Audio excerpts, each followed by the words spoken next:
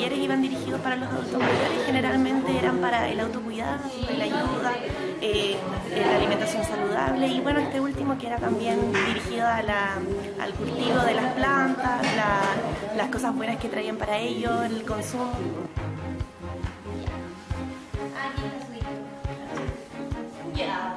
Gracias, Daniel. A conocerlo, estoy abierto. Estamos agradecidos, le damos las gracias a todas las personas que nos acompañaron aquí. Gracias.